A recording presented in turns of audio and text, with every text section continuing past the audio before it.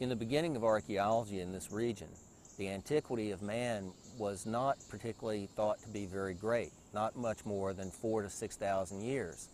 However, with the discoveries that were made at Hardaway and Doerschuk and Lowder's Ferry, it became abundantly clear through the stratified remains, which are much like a layer cake, one layer on top of another,